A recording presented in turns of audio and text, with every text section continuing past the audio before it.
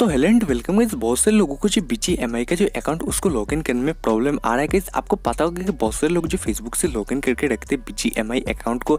लेकिन गाइस, अगर आपका बीची एम अकाउंट वो फेसबुक से लॉगिन है तो आप लोग जो गाइस फाइव नवंबर के बाद से जो बीची एम का जो अकाउंट उसको फेसबुक से लॉगिन नहीं कर सकते तो ये जो ऑफिशियली कन्फर्म हो चुका है तो ये जो चीज़ वो क्यों किया गया, पूरा आप लोग को बताने वाले तो इसलिए आप लोग वीडियो को कंप्लीट एंड तक वॉच करना। तो ये जो चीज़ गई आप जो खुद से भी चेक कर सकते हो। आपको सीधे चले जाना है पेडल मोबाइल इंडिया का जो ऑफिशियल वेबसाइट उसके अंदर।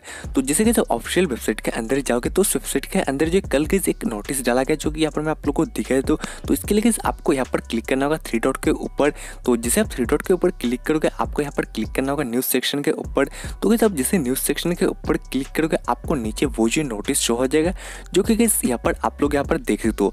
तो इस नोटिस आपको पहले नंबर पर शो होगा, जो कि change in log in with account तो यहाँ पर आपको इस नोटिस के ऊपर क्लिक करना होगा। तो इस नोटिस के अंदर बेसिकली बताया क्या गया मैं आप लोग को बता देता हूँ, जिससे कि आपको पता होगा कि कुछ टाइम पहले बेटलग्राउंड मोबाइल इंडिया की तरफ़ से एक ऑफिशियल नोटिस आया था, जहाँ पर बताया गया था कि अगर आपका BGMI अकाउंट अगर फेसबुक से लॉगिन है, अगर आप ब्राउज़र से लॉगिन करके गेम को लॉगिन करते हो तो कैसे यहाँ पर पहले तो लॉगिन हो जाता था, लेकिन कैसे यहाँ पर कुछ टाइम पहले आपको पता होगा कि फेसबुक का जो प्राइवेसी पॉलिसी जब चेंज किया गया था, उसके बाद कैसे यहाँ पर उन्होंने कहा था कि अगर आपके पास फेसबुक का ऐप है, तब भी आप जो BGMI अकाउंट को लॉगिन कर सकते हो, नहीं तो आप जो लॉगिन ही नहीं कर सकते हो।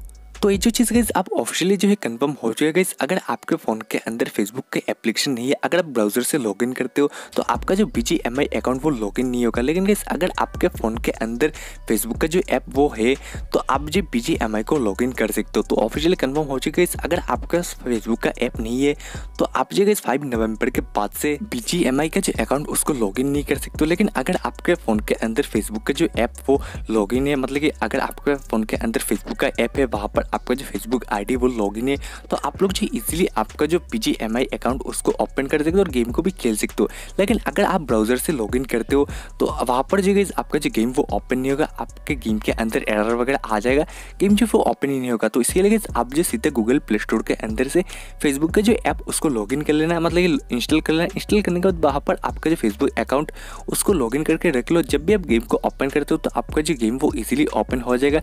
लेकिन अगर आपके फ़ोन के अंदर फेसबुक का ऐप नहीं होता तो आपका जो गेम मतलब कि जो गेम वो ओपन नहीं होगा। तो इसलिए आप लोग जो सीधा जाके ऐप को इंस्टॉल कर लो। यही चीज़ यहाँ पर बताया गया है। तो ज़्यादा कुछ नहीं था, बहुत से लोगों को प्रॉब्लम आ रहा था लॉगिन करने में। तो यहाँ पर गई मैंने आप लोग को बता दी कि आपके साथ जो कि लॉगिन प्रॉब्लम क्यों आ रहा है तो आप जो इन चीज़ों को फिक्स कर लेना आप के साथ लॉगिन प्रॉब्लम नहीं आएगा। तो यही था वीडियो के अंदर। तो आई आपको वीडियो पसंद आएगा। अगर आपको वीडियो पसंद आता है तो वीडियो को लाइक करें और अपने स्कॉट के साथ इस वीडियो को ज़रूर से ज़रूर शेयर करें। तो वीडियो देखने के लिए बहुत बहुत शुक्रिया। मिलता हूँ एक वीडियो में, तब तक के लिए